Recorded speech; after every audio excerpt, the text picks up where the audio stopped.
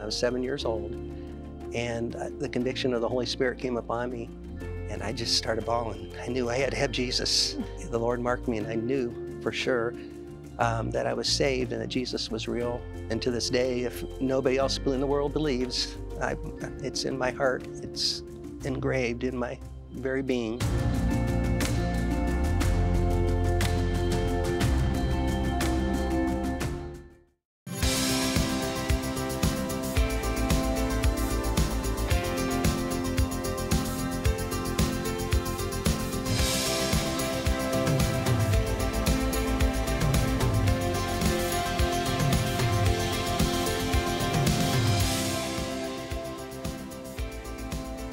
Welcome to our Grace family. Thank you for joining us. I'm Reverend Steve Millar, a minister here at Grace Cathedral, and this is my lovely wife, Kathy.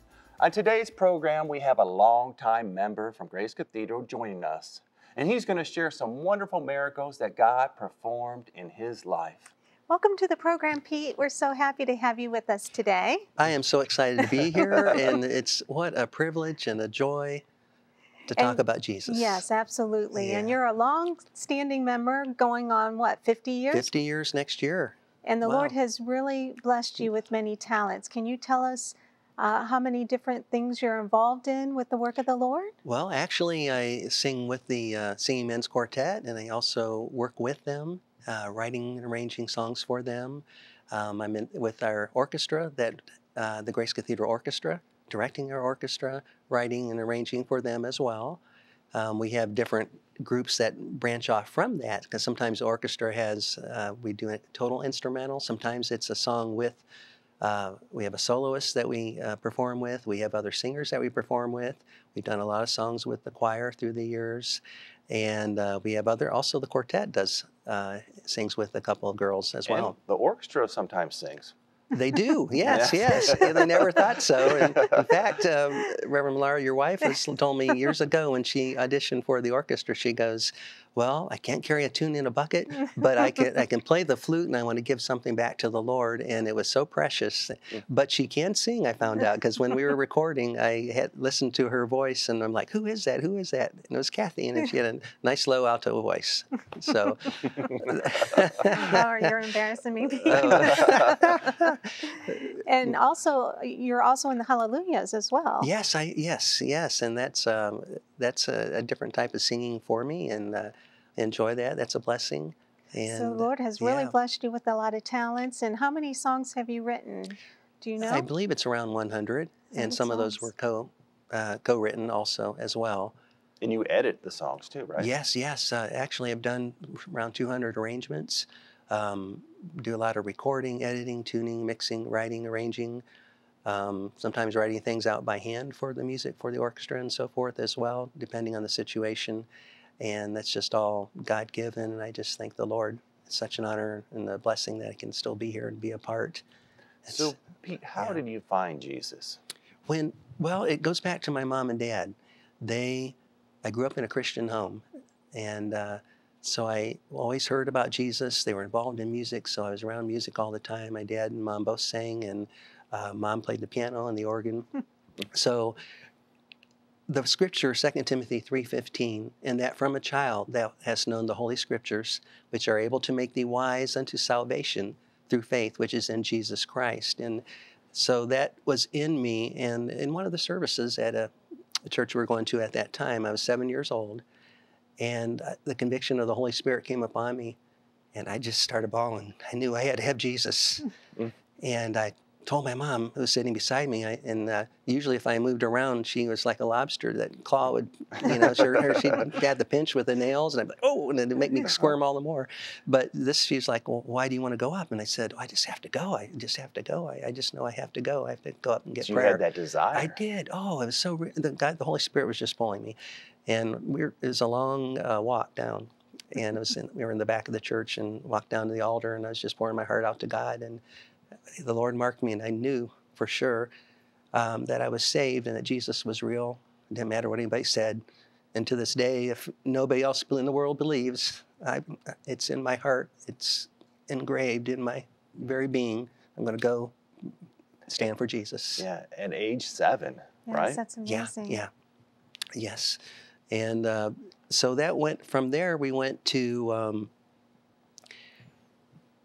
I again, as I went, eh, I never went out into the world, Mhm. deeply into the world, and this is so neat because I just saw something recently uh, when Reverend Angley had interviewed my parents, and he goes, "Everyone has a story," and, and you know you could hear him say that, and I thought back to a uh, a cartoon that people are familiar with without naming it, how these kids were trick or treating, and. Uh, at one point, they would find, oh, I got this big, huge candy bar, and they were naming all these different things they got. And they, what'd you get? And they said, pulls it out and he goes, I've got a rock.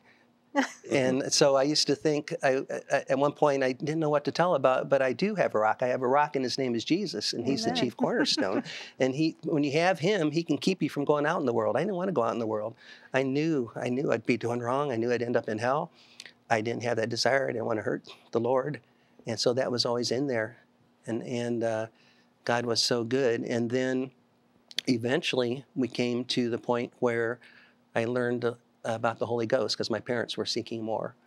And my mom ended up uh, going to prayer meetings, and th- this was held by some of the people at Grace Cathedral. And so she went and she ended up getting the Holy Ghost. And I saw the change in my mom. and because up to that time, we had not been taught about the Holy Ghost, just like Paul said to the people, We have not heard, have you received the Holy Ghost since you believe? But we have not heard whether there be a Holy Ghost. In Acts 2.39, it says, For the promise is unto you and to your children and to all that are far off, even as many as the Lord our God shall call. Mhm. So it's for you today. It's for me today. It's for us if you want all of God. So so we ended up I, again i saw the difference in my mom my dad ended up getting the holy ghost at home praying at home you can be anywhere as long as you're giving yourself praising the lord Mhm. completely to him so my experience initially with the holy ghost was at a, a, a christian camp that i went to and um, it was a camp where the kids would go and they'd play ball and different things and then in the evenings we'd have uh, different speakers that would talk to the kids about accepting jesus into your heart about the what they felt was the Holy Ghost at that time. Now, this wasn't related to. This was not related, related to Grace, Grace Cathedral. Cathedral. This is right again, right before we came to Grace. Steps Okay. leading up to it. So I was at this camp, and uh, I liked playing ball. I played baseball a lot of years, uh, organized ball, and but so that was one of the things I look forward to going to that camp. Oh, they play ball, good, I'll go. So, but we were, had a co-ed volleyball game one time, and there was this uh, one lady was just a girl, was just a little bit older than us. she was one of the counselors, it turns out. The ball was hit into the air, drops down beside her, and then her arms are up, and she's acting like she's the Holy Ghost is speaking through her. And so that was in my mind. I thought that is so strange. I mean, people were saying, "Oh, what are you doing?" and all this. And so I thought, well, I guess someone, the Holy Ghost, could speak through them at any time but that was really a strange place to do it. That just didn't seem right. It so didn't I, I didn't know in my mind. I didn't know Mhm. enough. You had a check mark. Yes, I definitely had a check mark. Yeah, the Holy Spirit's great at that, and He put that in me. Then later um, in the evenings, we were able to seek the baptism in the Holy Ghost, and so I was up praying at the altar that they had set up. And like a lot of people, I'm curious. I heard people praying for me, and I'm like, I wonder who's praying for me. So you peek, and I'm like, oh no, it's the volleyball girl. So it was her and uh, her, I guess her boyfriend that were trying to help me to get the Holy Ghost. And I was already, oh no, I don't know about this at all. So, but the Lord is so good, just as He made Himself so real to me when I got saved. Um, as I was praying, I could just feel there's something real to this. So I was praising the Lord for quite a while, and the guy goes, Okay, you praise the Lord long enough, be quiet and let the Holy Ghost speak. I'm like, What? Oh, okay. So I'm,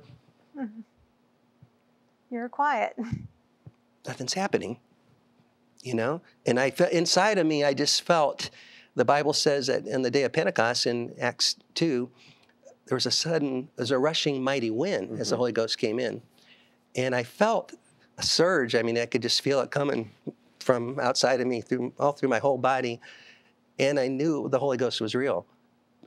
And I could feel his frustration. He's being grieved because he wanted to speak through me. If I'd have known, he would have, wouldn't matter who was around, was he would have, he would have prayed through me. So that was quite interesting. And then, so here I am. And finally, he goes, just say whatever comes to your mind.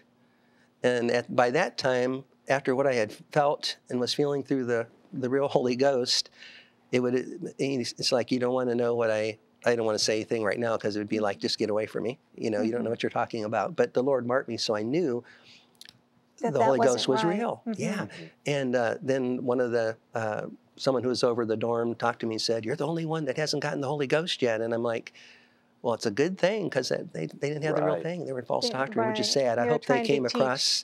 Yeah, I hope they found tongues. the real Holy Ghost somewhere along the line. But um, well, you were, like you said, you know, they were trying to teach you to speak in tongues at will. At will. And it's not mm-hmm. your will, it's the Holy Spirit's will, you know. Yes, and, sir. and when oh, you're yes. glorifying the Holy Spirit, He'll come in and take over your tongue and speak in a heavenly language, and that is the initial evidence of speaking in tongues. But what they were trying to do was just have you say, have self say whatever it wants. You right. know, Which say is, whatever right. what comes to your mind. And that's that's your mind, not Yeah. the Holy Spirit. Tinkling cymbal, nothing, nothing to that at all. Mm-hmm. So as we went along, um, um, my dad actually, when Reverend Angley's wife, Angel, whom he affectionately called Angel, she passed away, and my dad went to the funeral with a friend. I never even knew this until years later, and it had an impact on him. And two years later, took some time for the Lord to deal with him, but he, they were seeking. He was seeking. Two years later, he started visiting Grace Cathedral at the location on Canton Road. And I remember this very vividly. Uh, my mom would pull to the end of the driveway instead of pulling down, let him out at the end of the long drive, and dad I'd, and I'd look and watch, and I see my dad walking to church. I thought there's something to this, but we she it was hard for her to make that change. Mm-hmm. And right before we came, before mom did decide to come, the devil was trying to kill us, and we were almost home. They say most accidents take place close to home, and there was a pretty sharp turn. So we're coming around the curve. The car was coming the other direction toward us. Had was going so fast that they tried to get back around that corner, back in their lane, but they end up going on two wheels. So they're coming at us like a like a stunt car driver, but really fast. Mom didn't know what to do. She turned the wheel, went up over the curb. We were on a uh, a little median right there, and finally came to a stop. And that car eventually, I was watching because as a boy, I'm like in the back seat, what's going on, you know? And he, he was fine. So she goes, wasn't there a telephone pole right in front of us? And I thought, well, and I, am looking and I looked behind the car and it was right directly behind us. Um, I'd gotten out of the car, you know, curious, Mhm. and it was just a few, seriously, a few feet behind us in, in the, about the middle of the bumper. So God moved, and, and we did bounce hitting there. And, uh, Mhm. you know, I don't know what happened. God took care of us. Mom always said, I think we went through the telephone pole. And I'm like, I don't know. you know, I, honestly, I don't know because everything way. happened so quickly. Yes. And I'm watching this other car. And next thing you know, boom, boom, boom, we're stopped. And uh, but God took care of Yeah, us, and the did. devil was trying to wipe us out, you. and we came and, and uh, came on to Grace Cathedral as a family. Well, finally. that's wonderful. And on the Well, way, mhm. um, uh, one, of the, one of the times Reverend goes, you know, they believe you have to have the Holy Ghost to make the rapture here. And I thought, Lord, if that's true, I want the Holy Ghost. I And accept that. really affected you in Oh, a great yes, way. yeah. Well, we have to take a quick Okay. break. So, friends, stay with us. We have more to come. We'll be right back. What God has done in the lives of others, He can certainly do for you. Stay tuned for more Our Grace Family. Visit Our Grace Family on our website for exclusive content and downloads.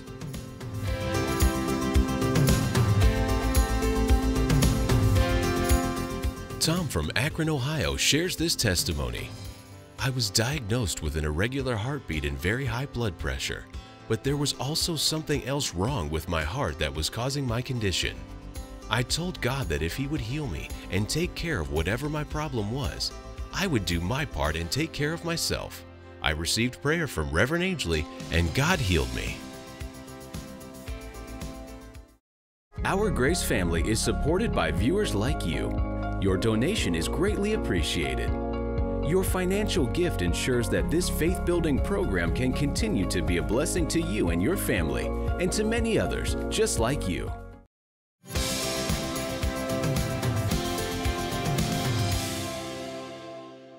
We're back with Pete Jones. And Pete, you let us know that Reverend Angley said that you must have the Holy Ghost to make the rapture. Yes. Now, Yes. you told us about how you received salvation. Can you finish up and let us know how you received the baptism of the Holy Ghost? Oh, yes, definitely. um, you know, the Bible says it's according to the power that worketh within you. And so I actually had gone, started going up to the altar to yield to the Lord, to receive the Holy Ghost, and I was able to yield some at that point, and the Holy Ghost had started speaking through me some. I wasn't satisfied yet, so I had to. I continued, and you, again, like we talked about, I believe um, you can seek at home as well, and I just kept seeking until I got a satisfied portion. And Jesus had said, uh, He told the disciples, the tarry, you know, before they even started their ministry, they had to get the Holy Ghost. Jesus Himself, as our example, had to get the Holy Ghost before He started His ministry. So, uh, and the Holy Ghost is given to them that obey Him. Yes. I mean, if you want all of God and to obey God, you'll receive the Holy Ghost. So you were satisfied when the Holy Ghost came in and you Oh, started yes. speaking in tongues. Yeah. And you know, Yeah. to go back to what Reverend Angley said, it's it's that power within you, the power of the Holy Spirit is going to Yes, change sir. you in a moment, in a twinkling of an eye, Yeah. To make the second coming of the Lord, the rapture. Yes. I don't. Who want, I don't want to be left here. This world's a mess. Yes, Yes. And that's Jesus is coming soon. So how does the Holy Ghost help you write music? I mean, every song that I do, Reverend Millar and Kathy, I just pull on the Lord. I just ask the Holy Spirit to anoint me. I don't start unless I just take the time to really yield to the blood, to yield to the Holy Spirit, so that God can move and put this together. So It's he, like a painting. He can give you His thoughts. Yeah, his thoughts, because, and then I'll look at something, especially with the orchestra pieces later, and I'm like, Where, where'd that come from? It was the Lord. It was the Lord, and he just, and I just want every piece to come out exactly how he wants to bless people and to win souls, and that's what we're doing, you know, and that's occupying why until he it's so important to have the Holy Spirit to help He's you He's the teacher. in writing music and, and even arranging Oh, yes. it. Well, we have a special treat for our audience today. We're going to take them to Grace Cathedral Sanctuary to hear a song that you wrote, I'm His Forever, and it's oh. being sung by the Singing Men's Quartet. So, friend, enjoy this song. You're going to be blessed.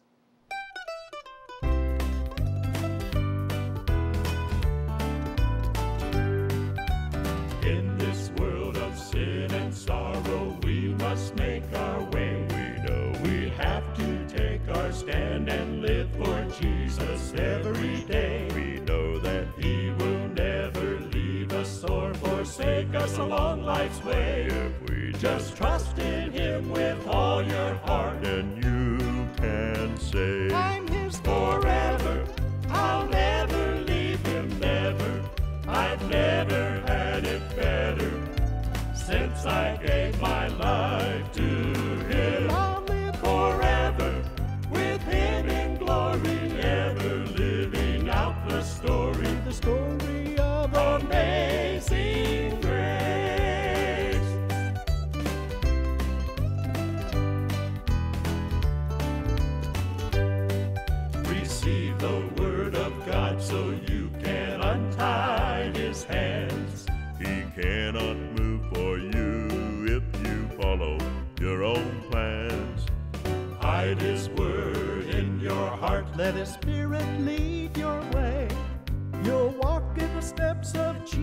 Jesus, then you will say, I'm his forever. I'll never leave him, never. I've never had it better since I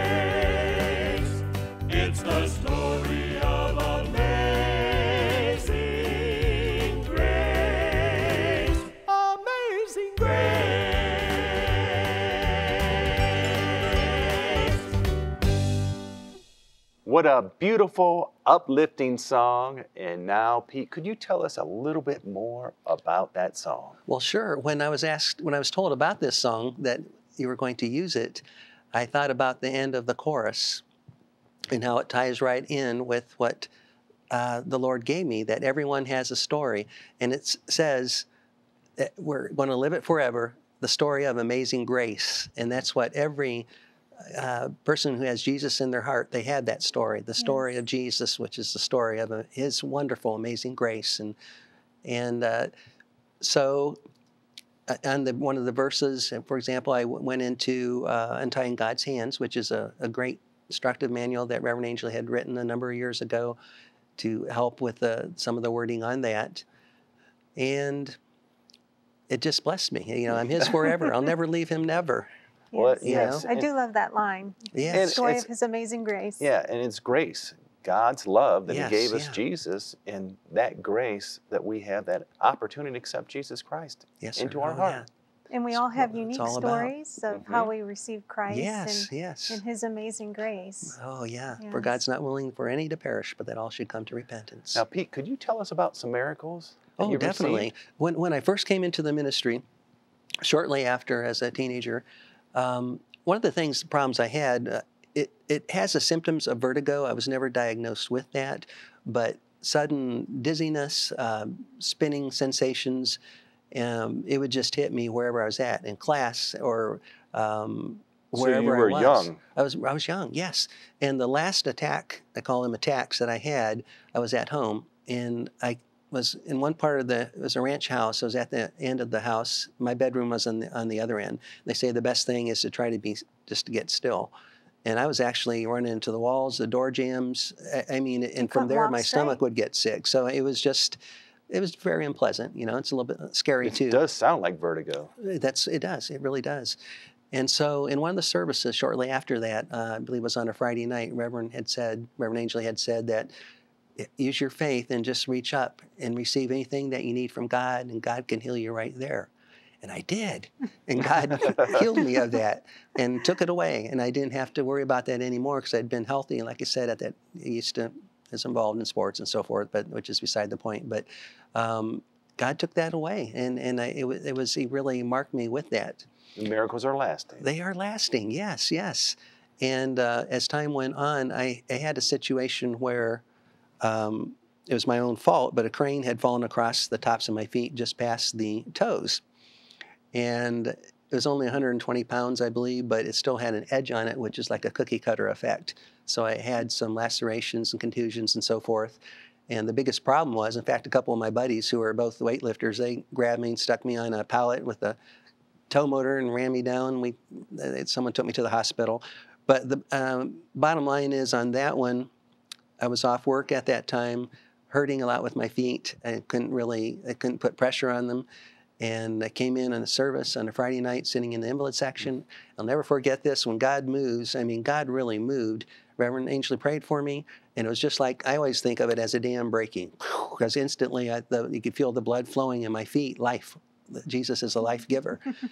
And so eh, that was awesome. And then I went back to work and they're like, What are you doing here? They're surprised I was walking. It just surprised them. Uh, something that's really neat uh, as a musician, um, I, all I wanted to do, I, I, wanted to play the trumpet for Jesus. And, uh, and uh, that, that's why I played. And I just wanted the Lord to anoint me to do that. And I had damaged my, it's a kind of long story there, but from playing incorrectly, because I did a lot of the high notes. And uh, I damaged the lip muscles, which make up what's called an embouchure. Uh, musicians are familiar with that. And it actually went into my cheeks and my chin, you know, because this actually, you know, as far as what forms for the trumpet. And I couldn't play anymore. I was playing at church and I would be up playing. It was like Popeye, you know, when he goes to make a muscle uh, before he has the spinach. You've seen that? it just boing, goes down that way. And so that my lip would do that too. And it's about the only way to really. So you couldn't get any sound, or well, it, it would give out. So uh, you have to keep that pressure. And and it would just it would move, it wouldn't hold, and we'd be playing up on the platform, and it would do that. And it was terrible. Um, it was just it was embarrassing embarrassing for the Lord. But I Reverend Angley prayed for me in his office, and he said, The glory of the Lord, power of the Lord's all in through your face. And I felt tingling all over my lips, my cheeks, my chin. And God moved, and I got a recreation of those muscles that make that up. And uh, then uh, been playing, played a number of years after that. So that was an instant miracle. It was. re- It was awesome. Yeah. Because when I you was in college, I couldn't even in the recital. I couldn't even. It it would give out, and they said a lot of people had to stop playing because of that. But God moved, so I could continue to play. So that's can be common. Is that what It you're is. Yes. Okay. Yeah. Yeah. But the Lord moved to to take that all Oh, away yeah, and it give you And the was it's a strength. good thing Yes, because praise the you, Lord. you've had to, you know, play your instrument after that uh, Right. for Oh, yeah. some of the recordings. Oh yeah, yeah. So yeah, forth. it- it's so. uh, I love to do it, and it was just uh, uh, something that the Lord blessed me with to be able to do. And I received uh, uh, got a kidney recreation, which a lot of people aren't aware of. I was up on the platform, and I had extreme pain in the uh, the lower right side and where the, the kidney's located. And uh, I actually thought it was my back, and Reverend said it's a kidney. God's moving, and the Lord had recreated my kidney. Oh, that's wonderful. Yeah. Well, Pete, thank Praise you so Lord. much for sharing these wonderful miracles and healings. But we have to take another quick break here. Okay. So, friends, stay with us. We have more to come. We'll be right back.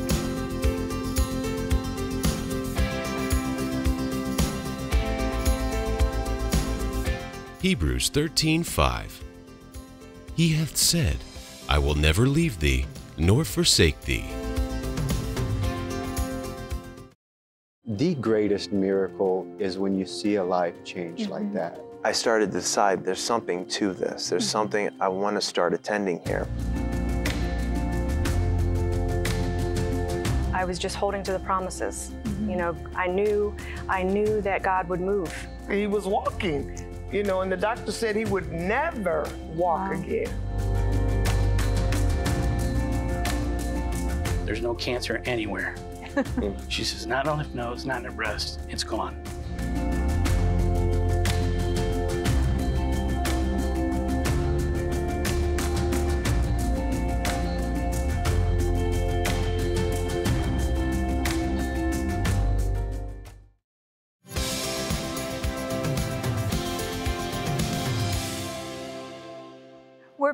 And Pete, we want to thank you so much for being on the program today and for sharing your story and wonderful testimonies with us. And friend, we had a lady from Akron, Ohio, let us know that when she wasn't feeling well, she couldn't wait to get to the Friday night service to receive prayer.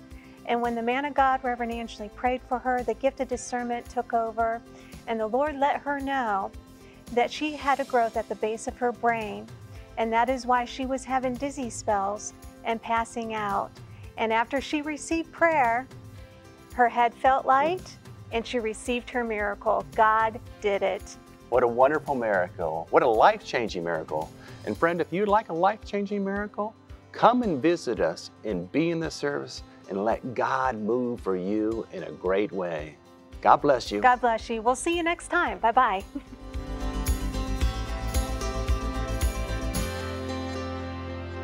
We would love to hear from you. If you were encouraged or blessed by today's program, let us know. You can email us at ogf at thegracecathedral.org or write to us. This program has been made possible by the friends and partners of Ernest Angley Ministries.